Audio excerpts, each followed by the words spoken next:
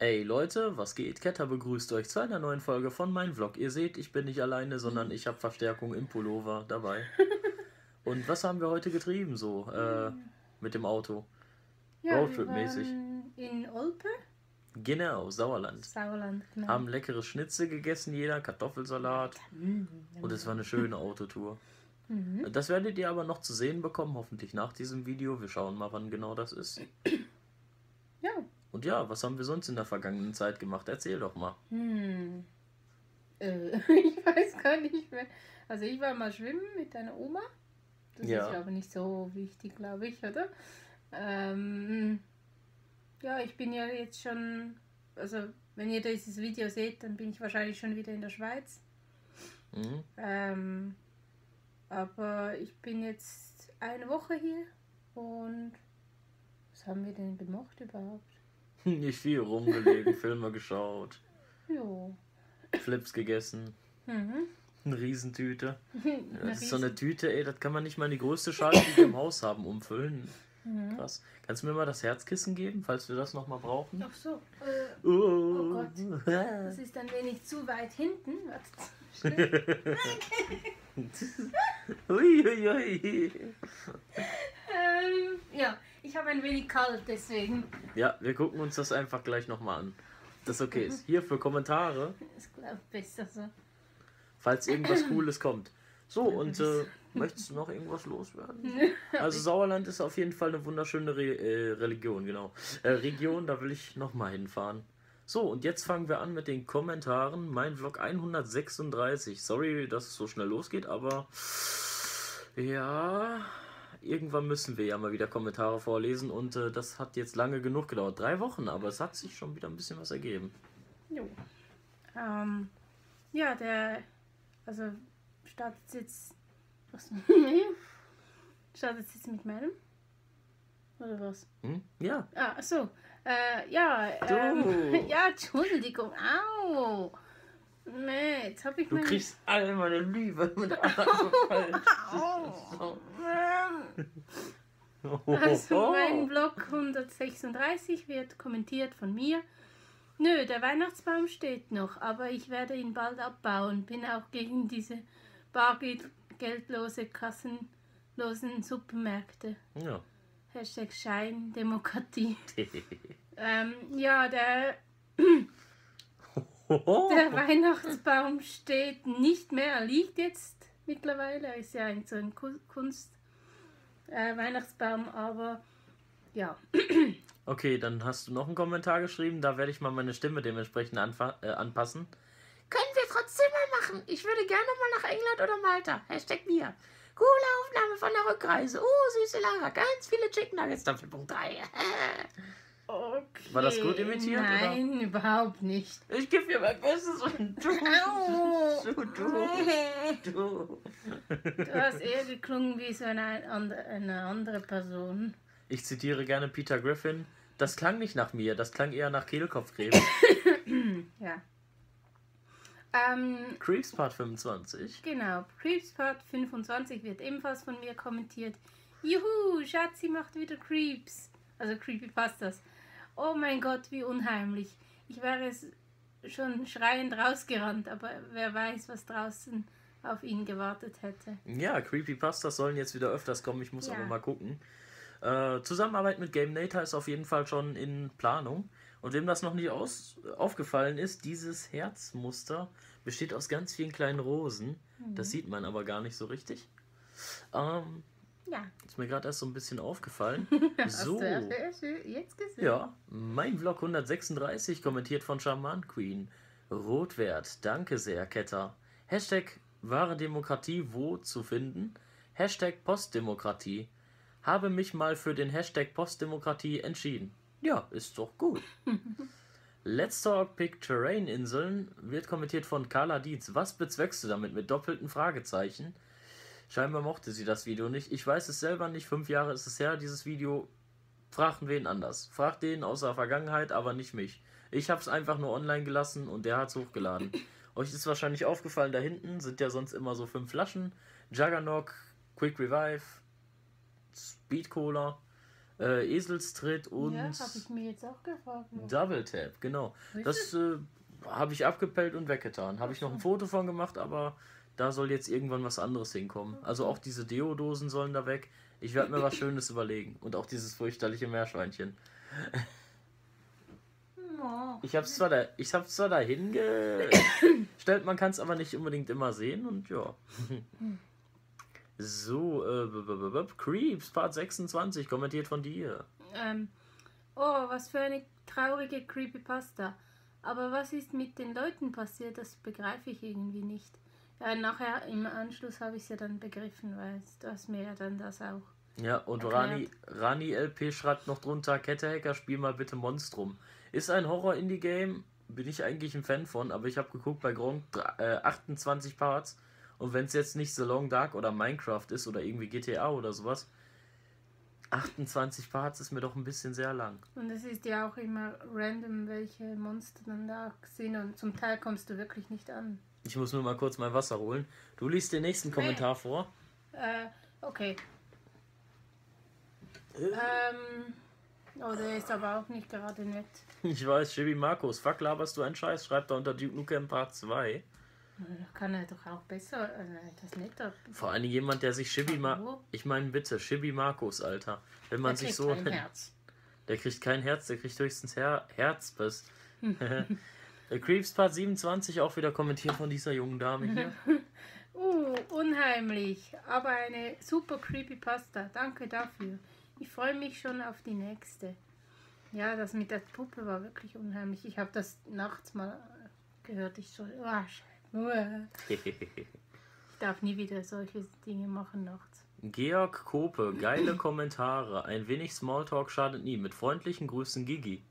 Schreibt er unter äh, Dying Light Part 18. Das ist der erfolgreichste Part von The Following. Ja. Postal 2 Part 4 wird kommentiert von Schneeko. So ein schönes Spiel muss es auch mal wieder spielen.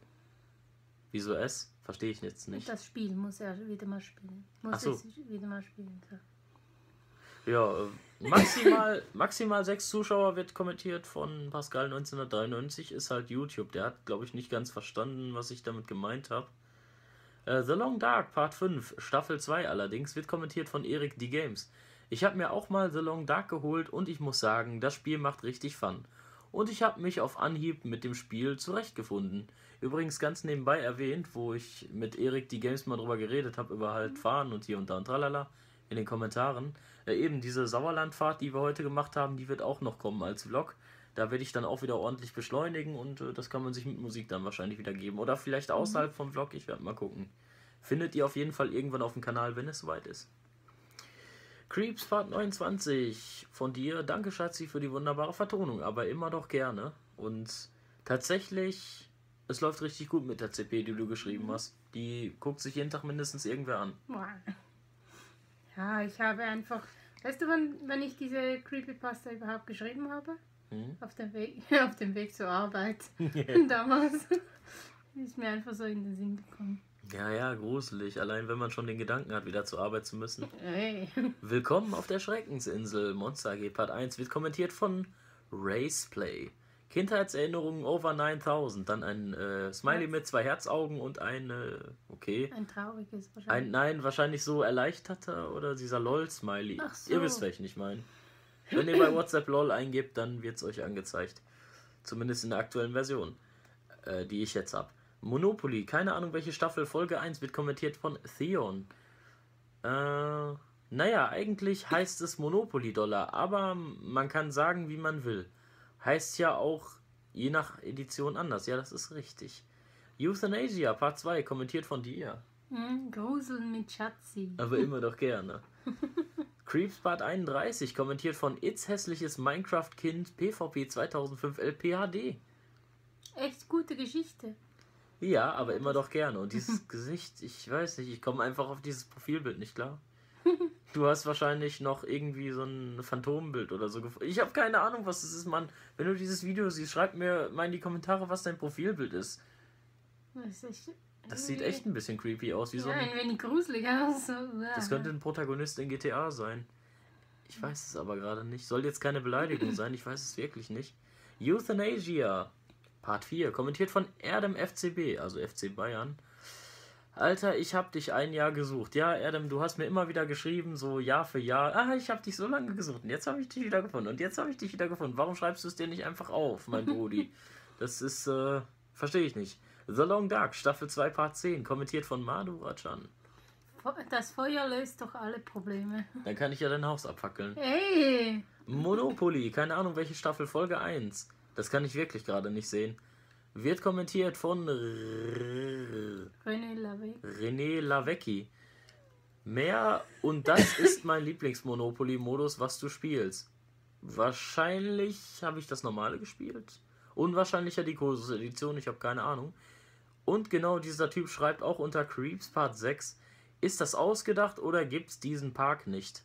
Äh, den gibt es nicht. Creepypastas sind generell ausgedacht und alles, was ich mache, sind Creepypastas. Und dann meinte er nochmal, gibt es den Park wenigstens oder den Artikel? Nein, beides nicht. Es ist nur ausgedacht. Ist das das mit dem. Unter einen anderen Monopoly Part 1 schreibt er, mach mal ein Portal-LP mit Mods. Könnte ich theoretisch machen, muss ich aber gucken, wie ich es installiere. Und Portal ist sowieso nicht so mein Lieblingsspiel. Da überlege ich es mir dreimal, ob ich das auf YouTube hochlade. Äh, es geht nur auf dem PC, muss googeln, brauchst du Portal 1 oder 2, je nach Mod, bla bla bla. Das habe ich beides. Äh, Wenn es falsch ist, frag nochmal, erkundige mich dann, okay. Gut. Und dann habe ich ihm nochmal erklärt, was ich gerne so spiele. Und dann er meinte er, ja, kannst du mal Hello Neighbor oder Yandaris Simulator spielen. Ähm, das Problem ist, wenn du, mit, äh, wenn du mir das in einer Zeit gesagt hättest, wo ich gerade kein Projekt gehabt hätte, dann wäre es gut gewesen. Momentan Long Dark, Minecraft so nebenbei, wenn mal wieder irgendwas kommen sollte. Ich bin momentan viel an meiner äh, Autobahn am Bauen. Die hat sich jetzt mittlerweile auf 10 Kilometer verlängert. Vorher, was man im Video gesehen hat, waren 4. Und ich muss eben diese Trennlinien, die Striche und alles noch ausbauen, Brücken, Schneetunnel und den ganzen Kram. Es, es zieht sich extrem. Also bis man so ein, weiß ich nicht, so ein paar hundert Meter fertig hat, sitzt man stundenlang dran. Das ist schon harte Arbeit. Also vor allen Dingen auch repetitive Arbeit. Auch mit World Edit kann man da nicht viel dran ändern. Leider. Und eben wegen Hello Neighbor und Yandaris Simulator, da äh, muss ich gucken. Hello Neighbor kann man schon zu Ende spielen, ist aber noch nicht vollständig entwickelt, das fehlt mir noch. Und Yandaris Simulator ist auch, also es ist schon vieles möglich, aber ich weiß nicht, ich bin nicht so der Typ für solche Spiele. Also nimm mir das nicht übel, aber ich habe schon meine Projekte. Und äh, vlogmäßig, wie gesagt, da kannst du mir immer was vorschlagen, wo ich drüber reden soll. Die Shorties sollen irgendwann auch bald wieder kommen, die Short-Vlogs, aber ich komme bei diesem Amazon-Thema momentan einfach noch nicht ganz weiter. Da müssen wir dann mal gucken, die Tage. Mhm. Und ich sollte zum Friseur gehen. Ach, So, le letzter Kommentar, das ging aber schnell. Phobia Part 2 wird kommentiert von Erik D. Games. Mal so gefragt, welches Aufnahmeprogramm benutzt du, um generell Spiele auf dem PC aufzunehmen? Und welches, um Skype-Gespräche aufzunehmen? Beides mit Fraps.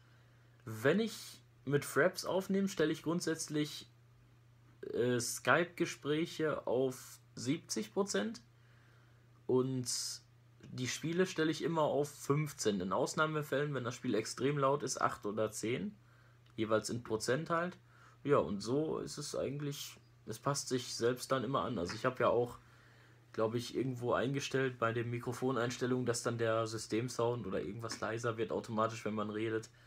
Ähm, das sollte sich dann aber auch erledigt haben. So, guten Schluck trinken. Und wir haben noch was, was aussteht. Und zwar das hier. Genau das hier. Wir haben nämlich noch diese Adventskalender-Türchen vom äh, Nimm 2 Adventskalender und auch wenn ich die ersten drei schon vorgelesen habe, ich will jetzt alle 24 in einem Video vorlesen und wir wechseln uns jetzt immer ab, würde ich sagen. Ich schmeiß die danach auf den Boden und danach können die ja weg. Also dann hebe ich sie wieder auf.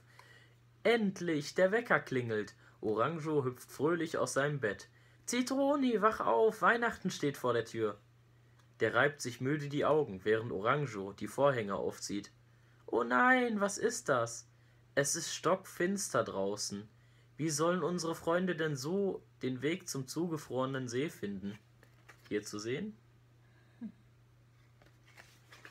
Zitroni tröstet seinen aufgeregten Freund. Keine Sorge, Oranjo. Wir finden das Wi- Win- Weihnachtslicht schon rechtzeitig zu unserer Feier wieder. Beide setzen sich ihre dicken Wollmützen auf und stapfen munter, äh, mutig raus in die Dunkelheit. So. Äh, so und. Uh. Ja, da, So. nur wenn ein Bild zu sehen ist, natürlich. Ach so. Schatzi. Ja, das wusste ich nicht. Jetzt gleich hast du eins, wo ein Bild ist. Ach so, okay. Draußen glitzert der zugefrorene See im Mondschein. Es ist alles finster, doch in weiter Ferne flackert plötzlich ein kleines Licht. Da ist kein Bild bei. Orang Orango, schau. Da hinten brennt, brennt Licht. Die Lachgummi-Freunde blicken zu zweit durch, Fern durch ihr Fernrohr. Da müssen wir hin. Da ist unser Licht, ruft Orango aufgeregt. Hier haben wir ein Bildchen. Das ist voll die Schleichwerbung. Aber ich habe den geschenkt bekommen, also muss ich das vorlesen. Hier. Dann. Die beiden stapfen lautlos durch den tiefen Schnee, immer in Richtung des kleinen Lichts. Plötzlich stoppt Orango. Sei mal ganz leise, Zitroni. Hörst du das auch? Aus der Ferne singt eine süße Stimme leise. Schnipp, schnapp, schnipp, schnapp. Da, ste äh, da steht plötzlich ein kleines Eichhörnchen mit einem Fingerspiel zu ihn, vor ihnen. Oh, wie schön, dass ihr vorbeikommt. Habt ihr Lust, mit mir Schnippschnapp zu spielen? Ja, gerne, antwortet Orango. Aber nur kurz. Was ist denn? Es ist Hirn verbrannt. Denn eigentlich sind wir auf der Suche nach dem Weihnachtslicht. Kannst du uns helfen? Hier haben wir das süße Eichhörnchen. Ja. So. Schmeiß einfach weg. Wir räumen das gleich auf. Hier deine. Oh, das Weihnachtslicht. Das kam letzte Nacht hier vorbei. Ihr könnt eine Abkürzung durch den Wald nehmen. Das Eichhörnchen zeigt in Richtung vieler Tannen. Zitroni, im Wald ist es so finster, sorgt sich Orango. Ich begleite euch, brummt. Ah, so. Ich begleite euch, brummt es plötzlich hinter einer Tanne hervor. Ein Glück, Bruno der Bär kommt mit. Zu dritt werden es die Freunde auf jeden Fall das. Ach Gottchen. Zu dritt werden es die Freunde auf jeden Fall schaffen, das Licht wiederzufinden. Entschuldigung, ich habe manchmal ein wenig Probleme wegen meiner Brille. Ich sehe es noch manchmal nicht ganz. Und plötzlich wird es wirklich etwas heller. Die drei kommen an einer großen Tanne vorbei, die sich, äh, die mit vielen bunten Bonbons geschmückt ist. Sie spiegeln sich im Mondlicht. Was für ein schöner Tannenbaum, sagt Zitroni. Kann man ja auch voll erkennen. Endlich, da ist das Ende des Waldes, ruft Orango. In der Ferne leuchtet das Weihnachtslicht. Jetzt aber kurzer Text. Sollen wir euch ein Stück mitnehmen? Zwei Rentiere kreuzen den Weg der Abenteurer. Ja, gern, antwortet Zitroni. Sie reiten auf den Rentieren bis zum Ende eines schneebedeckten Feldes. Orango, Zitroni und Bruno der Bär winken den Rentieren hinterher. Ich bin schon ganz erschöpft, das Licht ist noch weit weg. Sollen wir eine Pause machen? fragt Zitroni. Der mitgebrachte Proviant wird fair durch dr- drei geteilt. So. Nee. Bup, bup, bup, bup. Wie sie da sitzen und Pause machen, wird es plötzlich ganz hell. Ist das das Weihnachtslicht? Fragt Orango aufgeregt. Nein, sagt Zitroni. Das ist ein wunderschöner Sternschnuppenregen. Ui.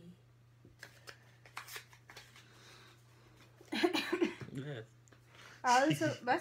Nichts. Also, also geht es weiter über Stock und, und über Stein. Das ferne Licht rückt Stück für Stück näher. Vor lauter Freude singen die drei fröhliche Weihnachtslieder. Zitroni,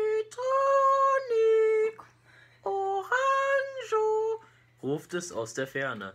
Wer ist das? Snowball Bob, der Schneemann? Kommt auf Ski äh, Skiern den, äh, vom Berg hinabgebraust. Da seid ihr ja. Ich hab euch schon gesucht. Warum ist es nur so dunkel? Und das steht wirklich da, so Zitrone, Orange. Ich musste das. Gott. Ich musste das so vorlesen. Warte, wo sind wir? Das Weihnachtslied war, äh, Lied, das Weihnachtslicht war heute Morgen einfach verschwunden. Wir sind auf dem Weg, es zurückzuholen, damit wir unser Weihnachtsfest am See feiern können, erklärt Orango. Ich helfe euch, sagt der mutige Schnee Snow Snowball Bob. Gott. Äh, so. Die vier Freunde wandern weiter und stehen nun wieder vor einem dunklen Tannenwald. Zum Rauschen des Windes gesellt sich ein vertrauter Klamm. Klang. Schnipp, schnapp. Oh nein. Hier waren wir doch schon mal, ruft Zitroni traurig. Wir soll, sollen wir, wie sollen wir denn nur schaffen, das Licht weiter wiederzufinden, wenn wir im Kreis laufen? flüstert Zitronis besorgt. Doch was ist das? Zwischen den Tannen, gar nicht weit entfernt, leuchtet ein, plötzlich ein helles Licht. Bunte Bonbons liegen im Schnee und weisen den Freunden einen Weg durch die Tannen. Los, hier müssen wir lang. Hüpft Orango aufgeregt umher. Oh, ich habe die Kuh nicht gezeigt. Habe ich gerade gemerkt. Die Schatzi dumm. Ja. Und tatsächlich, mit jedem Schritt durch die Tannen wird es immer heller. Gleich ab, haben's, also, gleich haben wir das Licht wieder gefunden, jubeln die Freunde. Das Ende des Waldes ist erreicht. Und mit einem Schlag wird es ganz hell. Aber was die vier Gefährten jetzt sehen, verschlägt ihnen den Atem. Ohne, ist ohne Bild. Sie sind wieder am See und alle ihre Freunde stehen vor dem weihnachtlich geschmückten, vor der weihnachtlich geschmückten Hütte. Sie rufen aus vollem Hals Überraschung! Dann fallen sie sich alle in die Arme. Moment, Moment. So. Na, da habt ihr uns ganz schön reingelegt.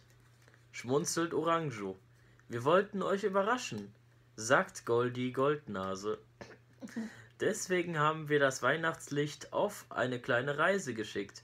Wenn ihr dann wiederkommt, sollten schon alle hier am See auf euch warten. Eh? So. Hm, ein Rentier mit goldener Du hast das. Finale.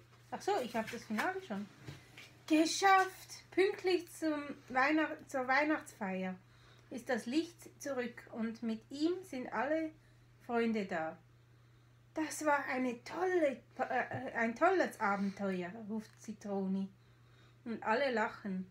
Zur Feier des Tages spannen sie zusammen eine wunderschöne Wei Weihnachtsgirlande über den ganzen See. Was? Okay. Der Weihnachtsschmuck glänzt fe fest festlich im Licht und die Freunde stimmen gemeinsam ein fröhliches Lied an. Das letzte Bild. So. Ja. Ja, dann würde ich sagen, wir sind durch mit dem Weihnachtskalender. Dann wünschen wir euch fruchtige Weihnachten.